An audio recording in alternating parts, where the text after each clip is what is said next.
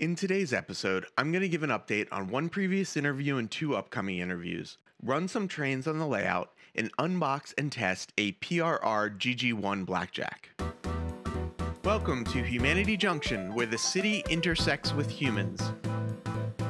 Earlier this week, I had a discussion interview with Drew at NorDel MRRC. Drew is a younger member of the community and already has some really great interviews. Please check out our interview as well as the other videos on his channel. A link will be in the description. And coming up, I will be hosting two interviews on my channel. The first interview on my channel will be for Sparky 107-107's Meet the Streamer series. On October 7th at 7 p.m. Eastern, I will be interviewing Big Bill from Model Railroading Live and South Brooklyn Railroad. Instead of Big Bill doing the interview for his series Who's Big Bill Talking To, this time he will be sitting on the other side of the table answering all of your questions. The interview will take place on Wednesday, October 7th at 7 p.m. right here on Humanity Junction. The second interview that I will be doing this week will be for Sidetrack Sunday. On October 11th at 8 p.m. Eastern, I will be interviewing Gordy Robinson. Gordy is on the NMRA social media team and also is the NMRA X manager. I look forward to talking to Gordy about how he got into model railroading, when and why he decided to get involved in the NMRA, and what he sees as a way we can grow the community and the NMRA. I want to take a quick moment and recognize the sponsor of my YouTube channel, CMR Products. CMR Products has designed and developed several in house brands and they manufacture them locally. CMR Products has just released some new scenery details in N scale. Please check out their website at the link in the description and use the discount code HUMAN for 7% off their in house brands. At the end of last week's video, I had a single locomotive running on both tracks. During this week's running session, I built off of last week's successes. The layout videos have been sped up. I started with the same locomotive as last week, my Bachmann New York Central NW2 switcher. I had several boxcars on my workbench and started with two to get everything running. I quickly went up to five boxcars and let it run for a few laps. I added a Broadway Limited Imports SD70ACe locomotive to the outside track and started breaking it in, running it in both directions. I kept having issues on the module with scenery. I've cleaned this section so many times using a lot of different methods and I'm still having problems. You can see the locomotive stutter over this section. I got up to 9 boxcars with the NW2 switcher, but at this point it seemed to be struggling a bit. Moving up to 13 boxcars, I removed the switcher and started using the SD70ACe. I also started breaking in another locomotive on the outside track.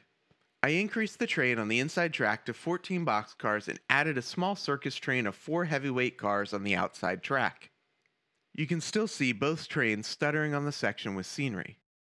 I really enjoyed seeing the trains making the loop as this finally felt like progress.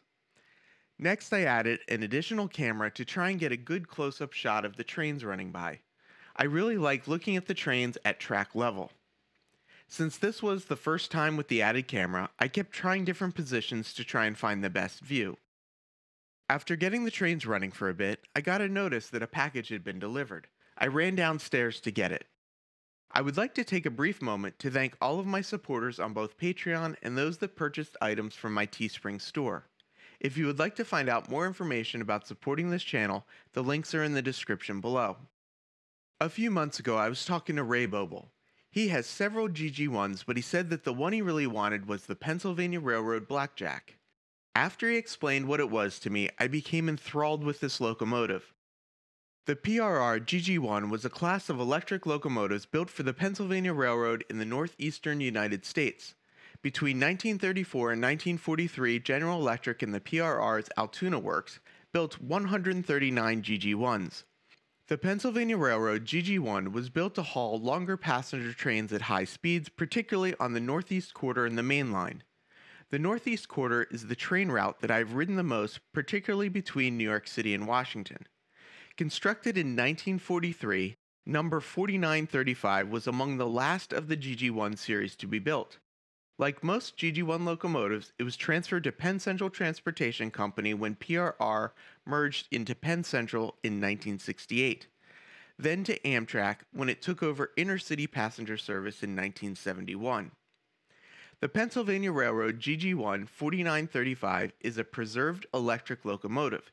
It is one of two, along with PRR 4800, at the Railroad Museum of Pennsylvania.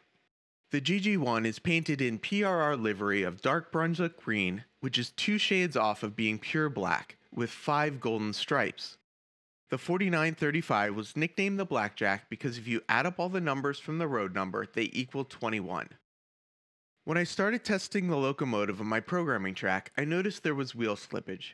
The first thing that I noticed was that one of the traction wheel tires was not on the wheel and it was jammed into the trucks. With the help of the live chat, I pulled off the wheel assembly to try and fix the tire.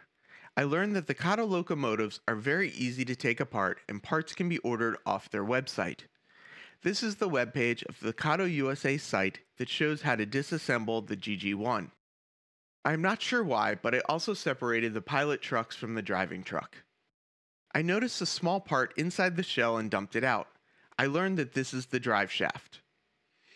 I tried using a toothpick to guide the traction tire back onto the wheel, but the tire was jammed in the truck and I ended up breaking the tire trying to get it back on. To install a new traction tire, I'm going to have to take the drive wheel assembly apart. In this image, you could see what the traction tire looks like on the wheel. In the following image, you could see what the wheel looks like without a traction tire. To put the drive wheel assembly back into the shell, I had to install the drive shaft and make sure it was aligned correctly. Once aligned, everything snapped together very easily. I knew that one of the pantographs was broken and I assumed that I would need to replace it. But after taking a closer look, I thought I might be able to get it to snap back together. I noticed that the top part of the pantograph wires were held onto the lower half via pins going into some holes. With a bit of manipulation, I was able to get the pantograph back together. Next, I put the spring back on the stud and reassembled the pilot wheels. And finally, I got the GG1 back on the test track. I knew one of the traction wheels was missing, but I still wanted to test that everything else was working. While the locomotive was moving, it also seemed to be dragging a bit. After looking a lot closer, I realized that only one set of the drive wheels was working. The set that I had taken apart was working, but the other set was not. After removing the other set of drive wheels, I quickly realized that there was not a drive shaft on this side of the locomotive. I then went on to the Kato USA website to order some parts. I ordered a set of traction tires as well as a universal drive shaft. Luckily, I did not need the pantographs as they were $20. For $4 in part and $7 in shipping, I ordered all the parts that I needed to get the GG1 back in top shape. Since I had the programming track set up, I then went through all of my DCC locomotives and added them into the JMRI roster. Thanks so much for watching as it was a lot of fun to get trains running on my layout.